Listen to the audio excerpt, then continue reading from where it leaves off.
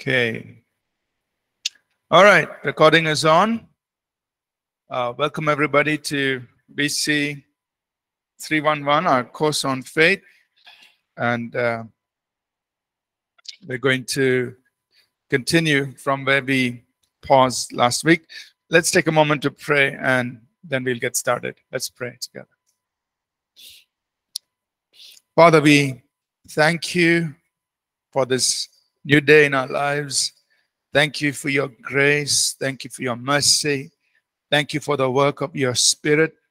And God, even today, as we spend time in your word, uh, we pray that everyone in the class are present here and those connected online will be nurtured in your truth, will be nurtured in, uh, in the spirit, will be strengthened. And God, that each one of us will go from faith to faith. We will go from glory to glory in our walk with you. We thank you, Father, in Jesus' name. Amen. Amen. Okay, good morning.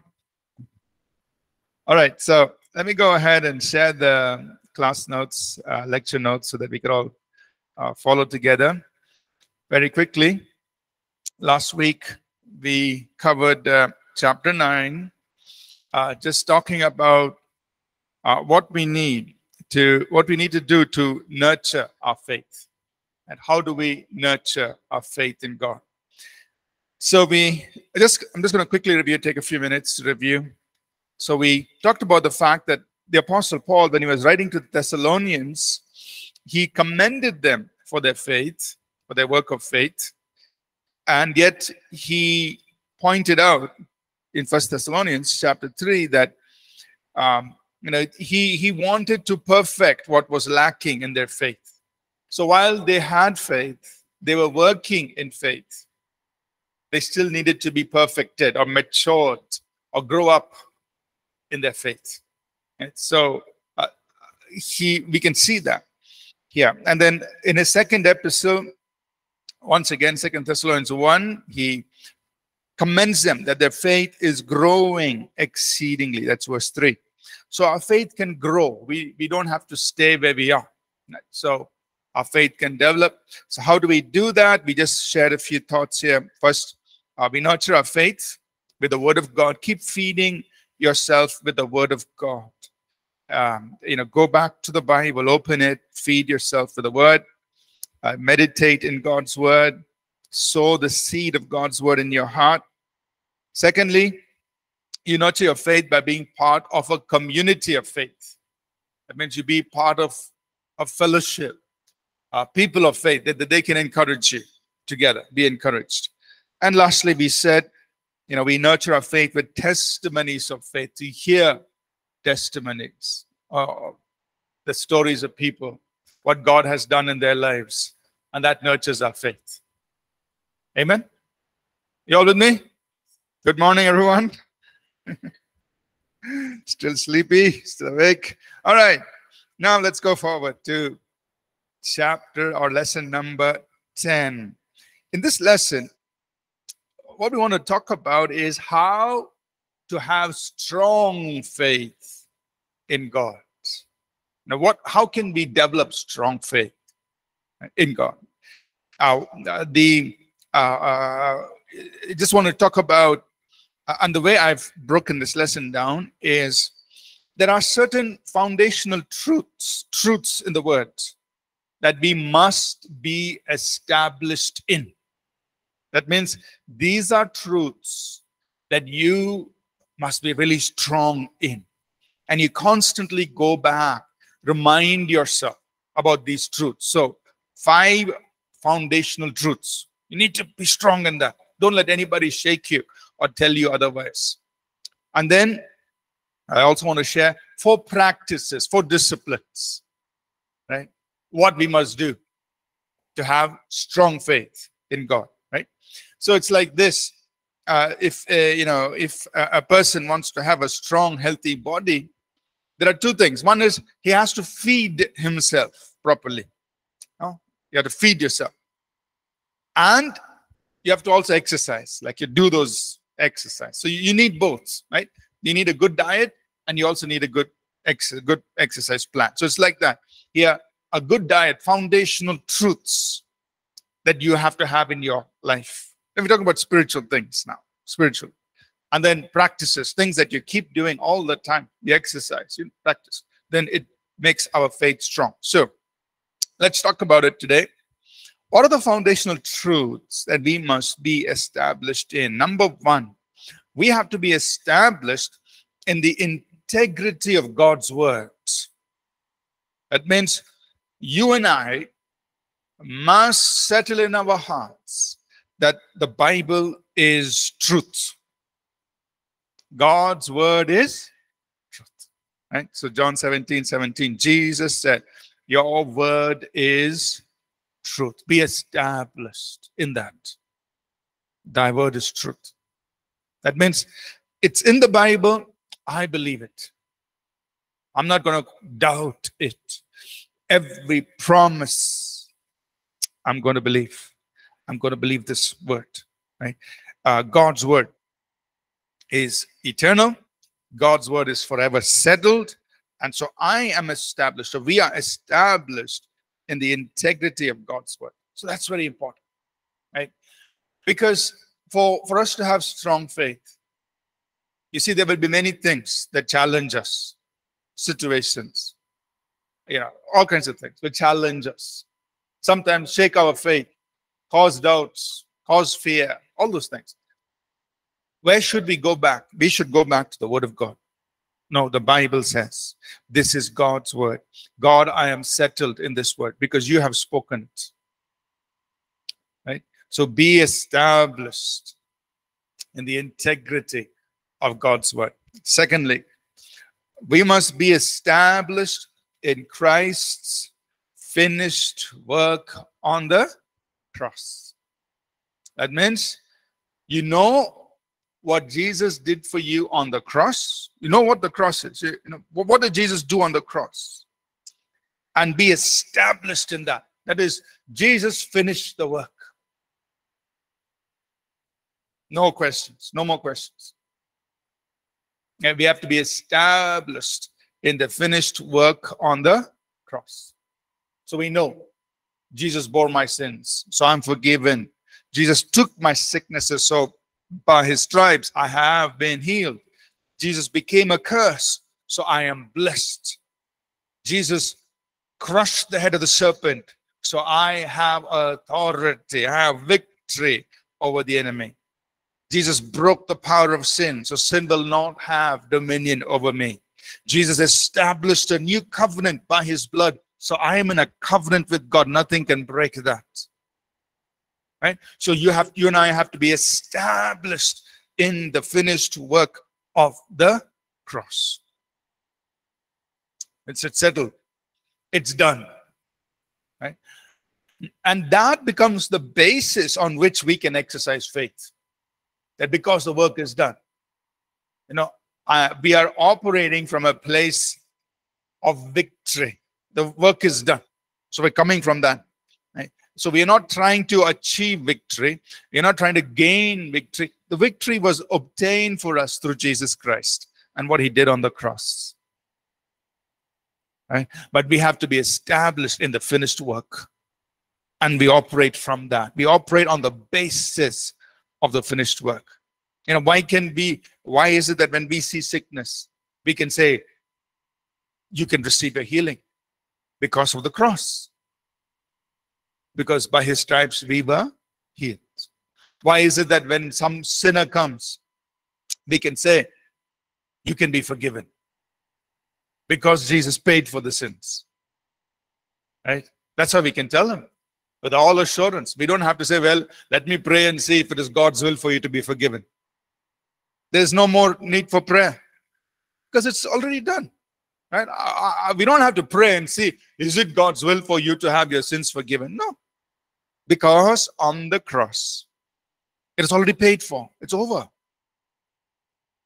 Now, if somebody comes uh, in bondage to sin or some other problem, we don't have to say, let me pray and see if it's God's will to for you to be delivered. that will be foolishness.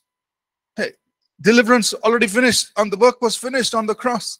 Satan was already defeated on the cross. So now it is a matter of ministering that victory for that person into that person's life. Uh, the devil is an oppressor. He violates, he goes against, you know, what God has provided. And so we operate on that basis. No questions, no doubts. The work has been finished. And we are here to enforce uh, the finished work of Christ on the cross in our own lives and as we minister to other people. Number three, we must be established in our identity in Christ. So, you and I, we need to know for sure who we are in Christ. Know your identity. This is who I am in Christ, and what God has said about you in Christ is truth. That's why we have one whole course, one full course on our identity in Christ, who we are in Christ. You're you're learning that. Right? So whole entire course, but because that is very important. You need to be established. And I think in your second year, you'll have an entire course on the cross. One full course, one full semester studying about the cross, a covenant's cross and blood, uh, trying to understand what Jesus did for us on the cross. Because very important. That is the basis for what we do. Right? So being established in the integrity of God's word, being established in the finished work of Jesus on the cross, and being established in your identity. You know, James puts, uh, it's not there here in the notes, but I'm just referencing it. James says, don't be a forgetful hearer. Hmm? You're a forgetful hearer, that means you forget what the word says. He says it's like a man who looks in the mirror and then he forgets what, what he looked like. He forgets his own identity. He looks in the mirror and then he goes, he forgets, oh, this is my what I look like. He forgets. So a believer who forgets the word of God is a forgetful hearer. He forgets his own identity. This is who I am in God. This is who I am in Christ. But we must be established in our identity in this is who I really am. That's why many times we keep repeating the statement who you are in Christ is who you really are. Who you are in Christ is who you really are. So you operate out of that. And somebody comes and says, Aap kaun hai? Who are you? And you'll say, like, I'm so and so's son, so and so's daughter. Made this from here, that I studied this, I studied it. All, everything about our identity is usually based on some natural things. But really, your identity is based on who you are in Christ. Now, who are you? I'm a son and a daughter of God. I'm part of God's family. God is my father. Jesus is my elder brother. The Holy Spirit is my comforter. He is my strengthener. I am the righteousness of God. I'm been justified by faith. I have peace with God. I am more than a conqueror. I'm seated with Jesus in the heavenly places on the Father's right hand, on the highest throne in the universe. Satan is under my feet. All his demons are even lower than him under my feet. That's who I am. That's how we walk. We walk with that sense of confidence and authority. And when we know our identity in Christ, we can at any moment we can just step into faith faith is not will not be a problem because you're operating from who you are in christ. Okay? Number four. We have to be established in the reality of the presence and power of the holy spirit. So you must know the holy spirit is actually flowing through you. See, in John 7 38, Jesus said, Out of your heart that means out of your innermost person, your spirit, will flow rivers of living water. That means out of you. What are those rivers of living water? It's talking about, it's a picture of the flow of the Holy Spirit, the presence and the power of the Holy Spirit flowing out through you. So, you, we must be confident, or we have this assurance in our hearts. The Holy Spirit is flowing through me. There are times I feel His presence, there are times I don't feel His presence. It's okay, He's still flowing. Whether I feel or not doesn't matter. This has nothing to do with feelings because this is from the Spirit, it's not from your emotions out of your spirit, out of your heart, will flow the presence and the power of the Holy Spirit. So you, are confident, you're, you're, you're assured of the reality of this. So when you speak to people, when you minister to people, you know it's not just you, but the Holy Spirit through you. You're confident about that. Holy Spirit, thank you that you touch people that you minister to people uh, through my through my life. I, I, we are just earthen vessels, but the Holy Spirit is flowing, and you're confident. You're established in that. There is no doubt in your mind. Oh, will the Holy Spirit come today? Is he awake today? He hasn't left. He's in you. He is more ready than than you are. Amen. So, just confident about the presence and power of the Holy Spirit. And the fifth truth that we need to be established in is the authority of the name of Jesus. That name, in the name of Jesus. Okay? You see, when Jesus said that you and I can use his name, when he said, use my name, in my name, like Mark 16, 17, and 18. These signs will follow those who believe, believers, those who believe in Jesus. He's saying, In my name they will cast out demons, they will speak with new tongues, they will take up serpents, and if they drink any deadly thing, it will by no means hurt them. They will lay hands on the sick and they'll recover. So he's saying, Those who believe in my name, they will use the name of Jesus. Now, understand what it means to use the name of Jesus. What does it mean? You know, if, for example, if the chief minister or some important person said, Go to those people and tell them, I sent you. And tell them to do this, this, this. So you'll go very proudly, you'll go, hey, Chief Minister sent me. very proudly, Chief Minister sent me.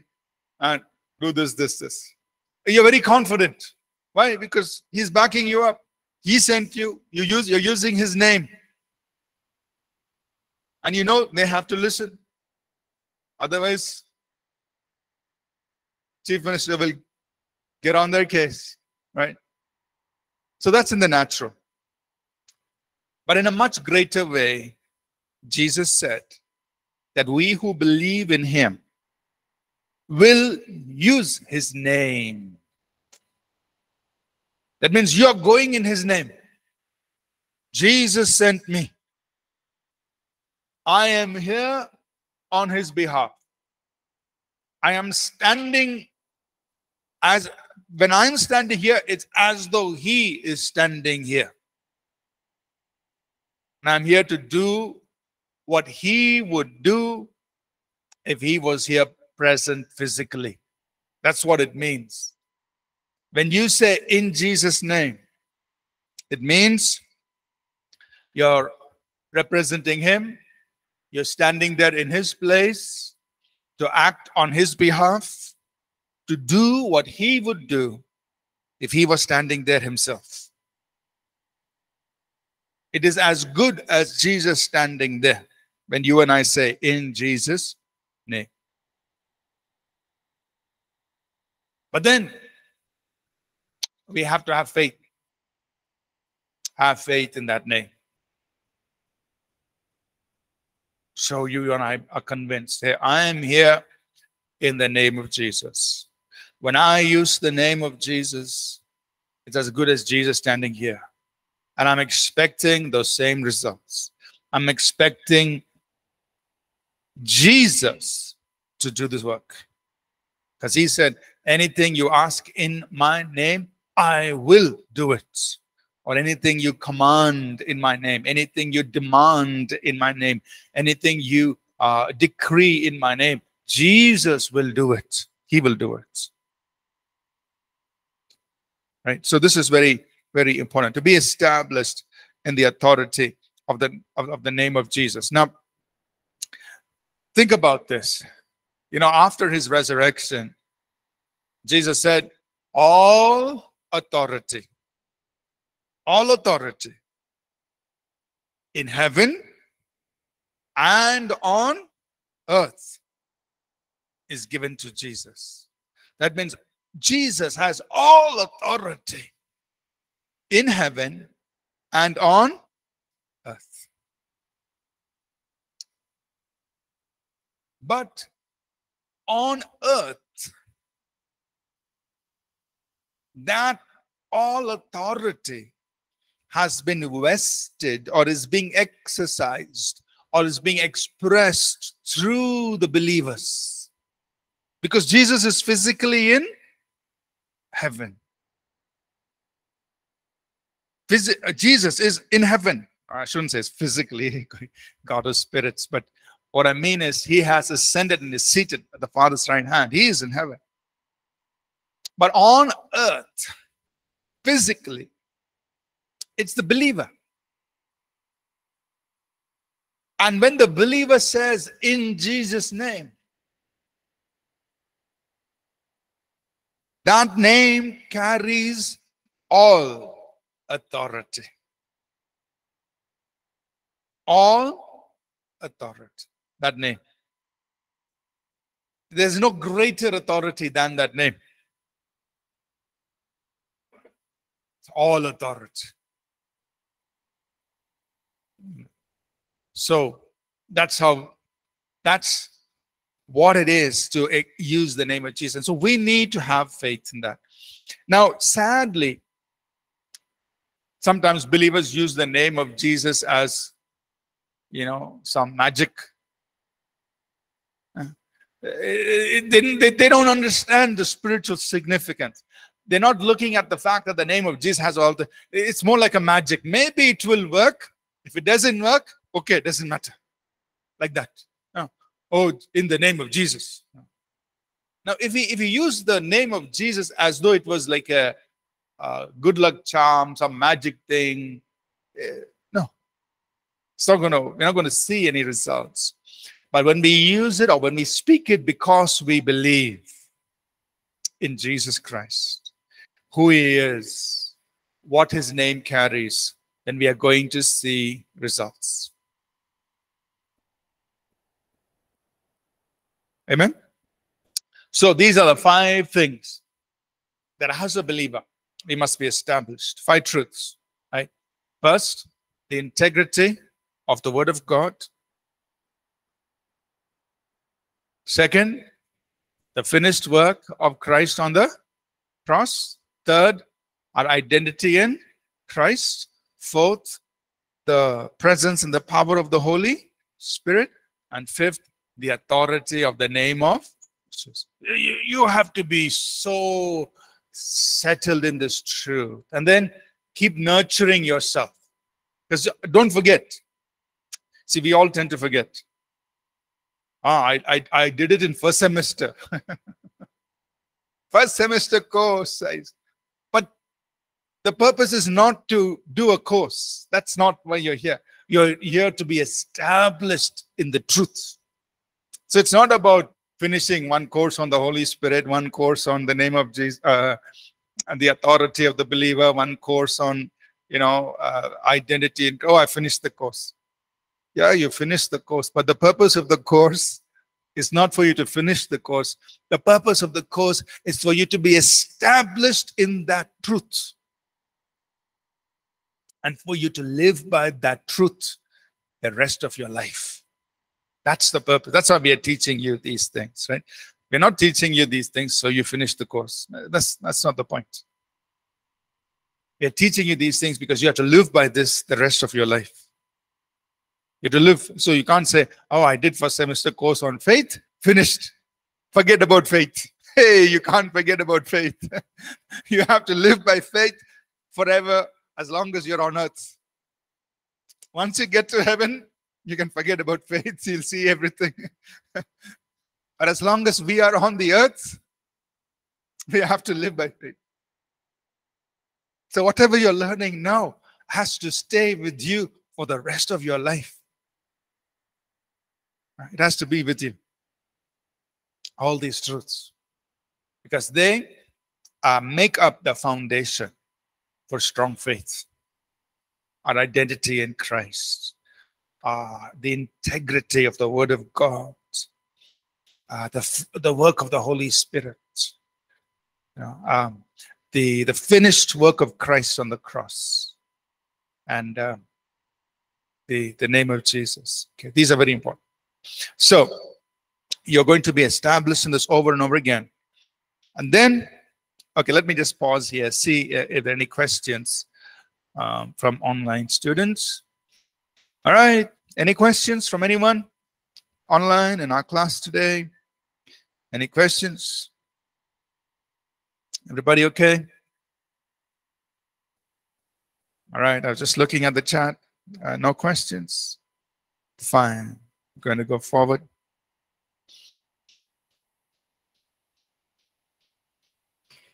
All right, let's move on.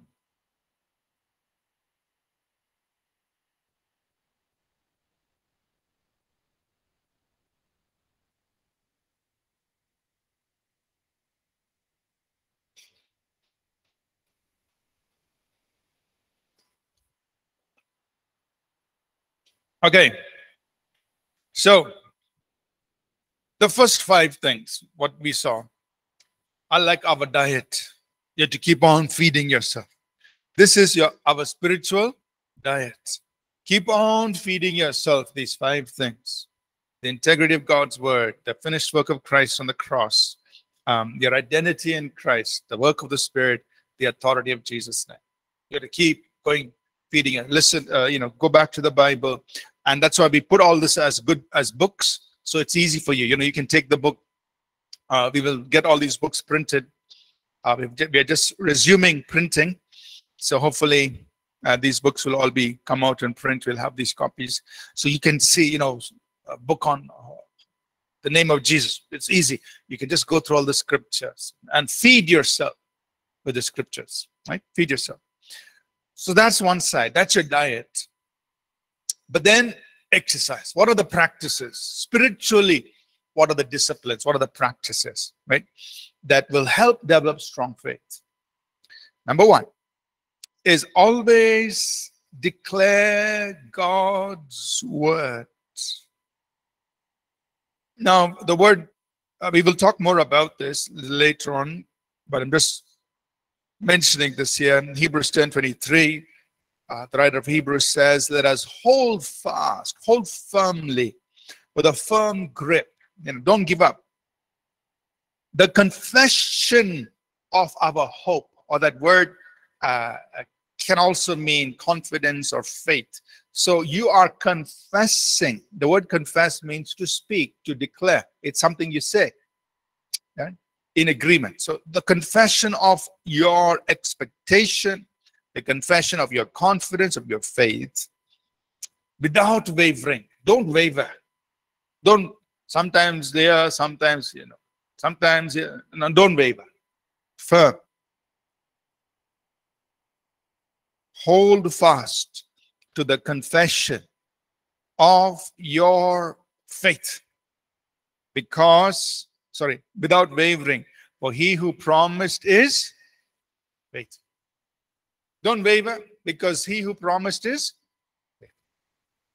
God who promised is faithful. So don't waver. Don't waver.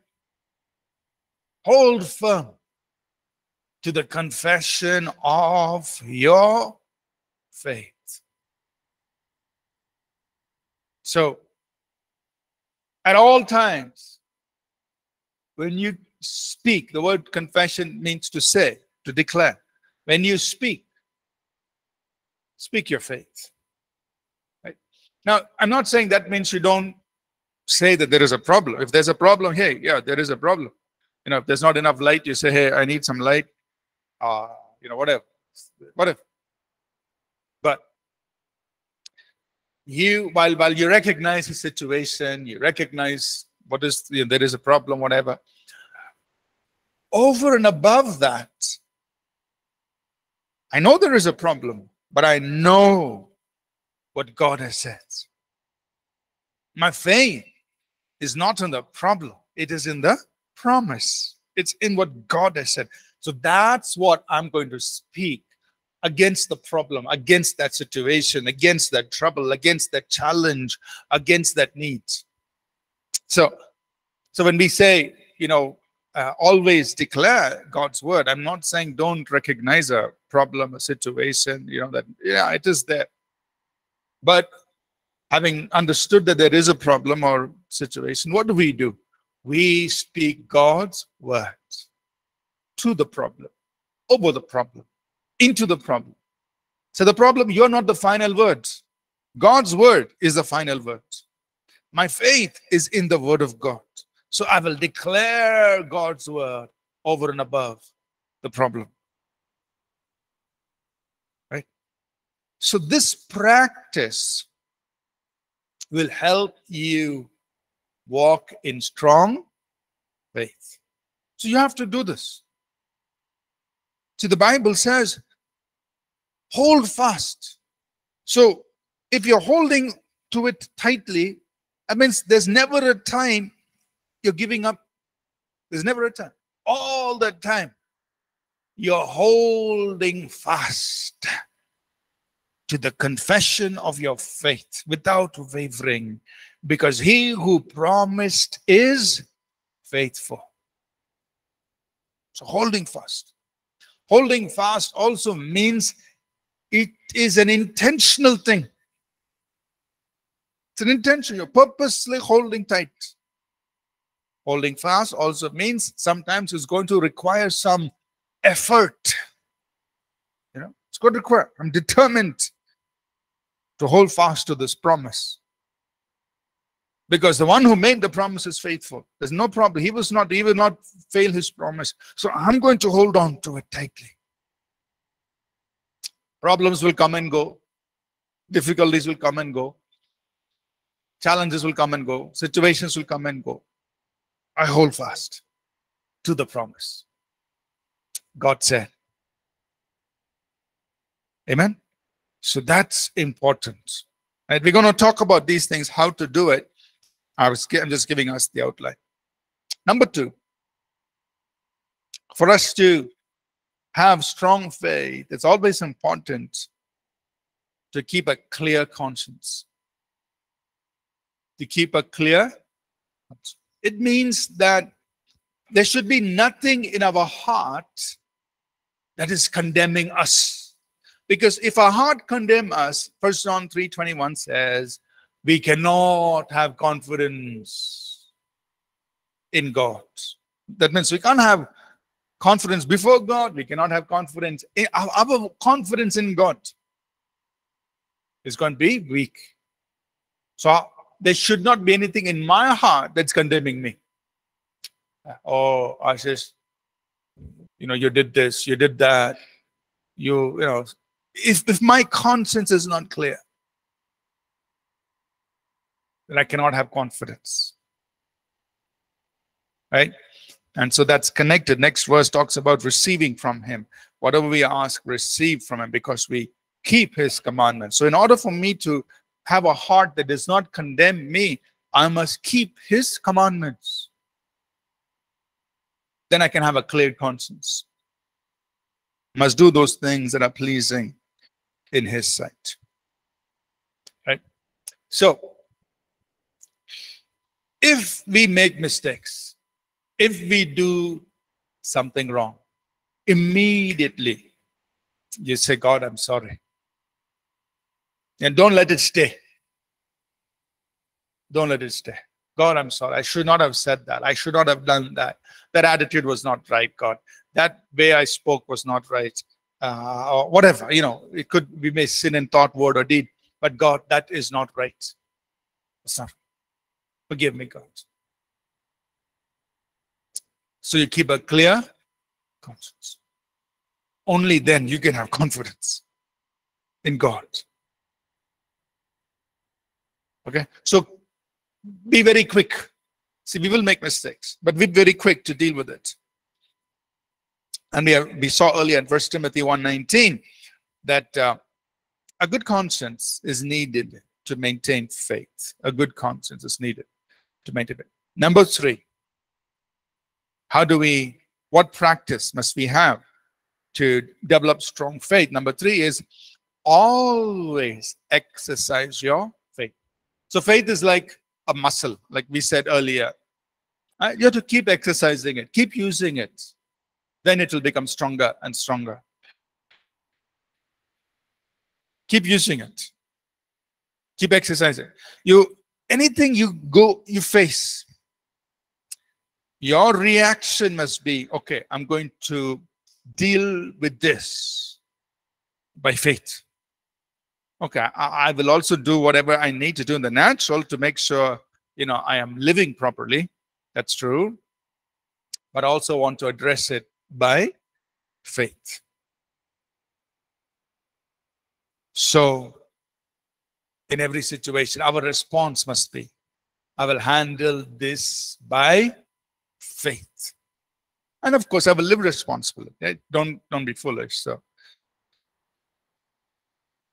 so always exercise your faith. And that's important because the more you exercise your faith, the stronger your faith will become. Number four, always be motivated by love. Always be motivated by love. Love is very powerful. So you have to look into your heart.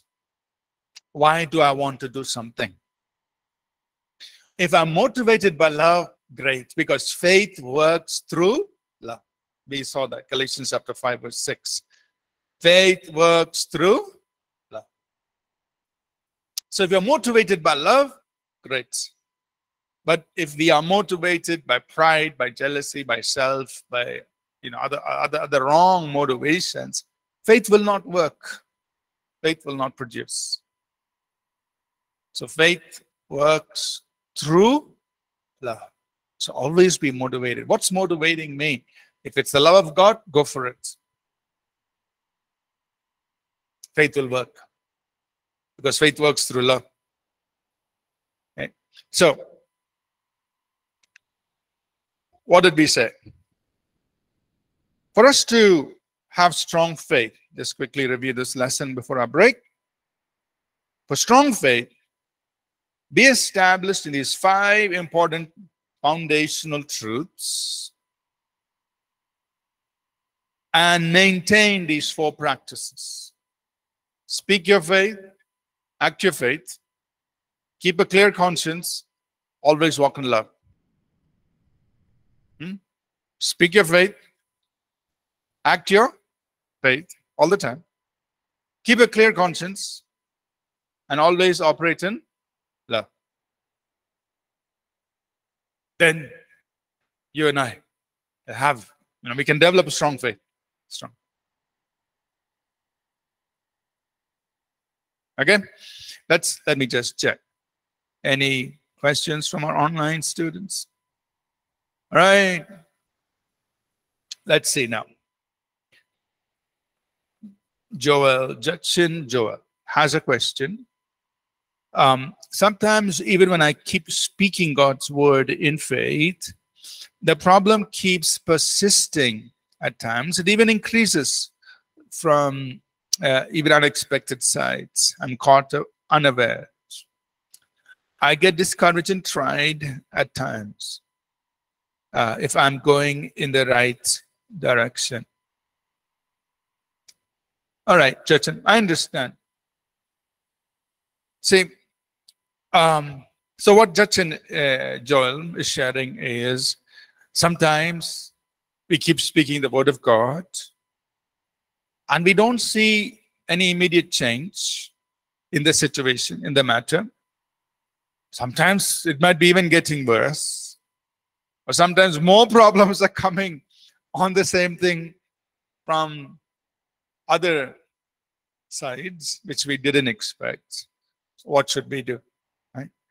Uh, I'd say sometimes I'm, I'm, I'm, I'm getting uh, discouraged and uh, sometimes tired um, whether you know whether you're going in the right direction. Now so this is where we have to learn to have faith through time. This is called the endurance of faith okay we will have we have a separate lesson on that but hebrews chapter 6 and verse 12 says do not uh, i'll just use a different word lazy or do not give up but follow those who through faith and endurance inherit the promise. So Hebrews 6 12. Follow those who through faith and endurance inherit the promise. So, how do you inherit the promise? We must have faith and endurance. Okay, another scripture, Hebrews chapter 10, uh, Jachin, I'm answering a question. I'm speaking to people here, but I'm answering a question. Hebrews 10, verse 35, another scripture. The writer of Hebrews says, Do not cast away your confidence because you have need of patience that after you have done the will of God, you might receive the promise. Notice what he's saying. Don't lose your confidence. Hebrews 10:35. Because you need some patience. You need some endurance. After you've done the will of God. That means what you're doing is the will of God, but you need patience in order to receive the promise.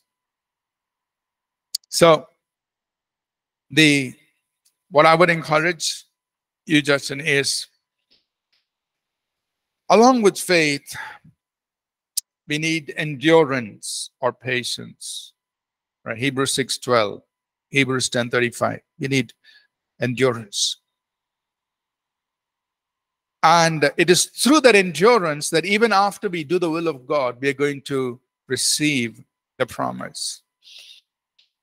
Now you say, but why do I need endurance? I wish everything was easy. Press the switch, light comes on. because the Bible says endurance produces character. And that's Romans chapter 5, verses 3 and 4. Endurance produces character. Why is endurance important? That's how character comes through endurance. So, in our journey of faith, God wants us to receive the promise, but He also wants us to develop character. So the double benefit. You get the promise, you also have character built. So that's the journey we are making, right? So we don't give up. So don't give up, Bachin. Do what you have to do. Now, sometimes you may also want to consider if there are any, is there anything practical that you need to do, like some practical steps um, uh, concerning that matter. Um, you can think about it, and you know, uh, if there are practical things you need to do, you can work on that as well. All right. Um, let's see now. There's another question from Chaya. When we hold on to promise of God with hope and faith and don't give up those times. We have to face people who are also believers and discourage us by telling us fool and our faith, they think foolishness, how to deal with this situation. Okay. So, so Chaya is Chaya Paul is asking is, is asking a question that see, when you're walking by faith, there may be people who uh, say you're foolish, you're not doing what is right, and all of that. Uh, how do you how do you uh, deal with that situation? So, what I would say is, one is we listen to these people to see if there is any uh, useful thing that they're telling us, right? So we don't want to cut people off from our lives uh, because sometimes people could be telling us things that will help us. So we have to listen to people. Uh, so you listen to them saying, are they telling me something that is right? Maybe they're telling me something that I need to correct myself in.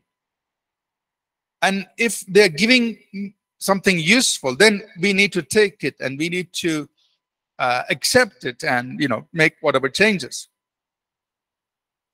But if they are saying things that have no merit, that are that are not really helping us, but are actually opposite to the word of God, opposite to what God has spoken to us, that's when we need to um, let me use the word you know cut off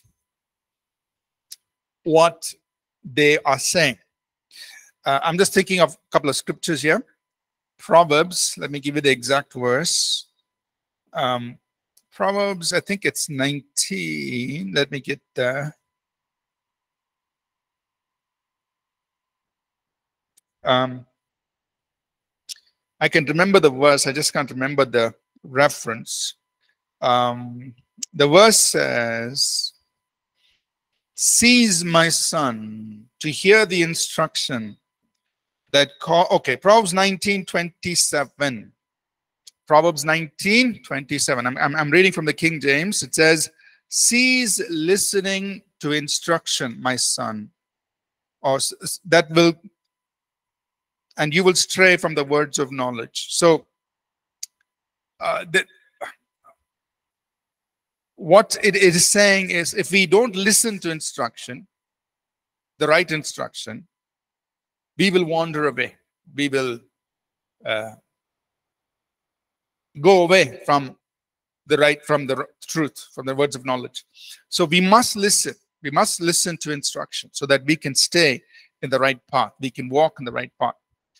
But at the same time, we have to be careful what we hear and how we hear. You know, many times Jesus in his ministry, he said, Be careful how you hear or what you listen to. This is in Mark chapter 4. Um, let me give you the exact verse. Mark chapter 4. Mark 4 24. Take heed what you hear. With the same measure you use, it will be measured to you. And to you hear, more will be given. So saying, you know, pay close attention to what you're listening and uh, how you listen to. So words are important. Uh, you have to treat them based on the merit of what is being said. If it's good instruction, receive it. If it's instruction that is causing us to go away from the words of knowledge, then we reject that instruction. All right. Uh, so it really depends on what is being said and who's saying it. If it's a discouragement to our faith, then of course, reject it. If it's contrary to the word of God, reject it. If it's contrary to the faith, uh, to, to your faith, then reject it. But if it is giving you some wisdom, if it is giving you some guidance, uh, if it's opening you up to do some something better, then of course receive it and you know make whatever changes. Okay, so I hope that was helpful. I uh, we will take a break now. I will come back. We'll answer Krisha's uh, question. We'll also take any questions from the class, and uh, we will we will do that. Okay. So let's go for a break. We'll be back in 10 minutes. Thank you.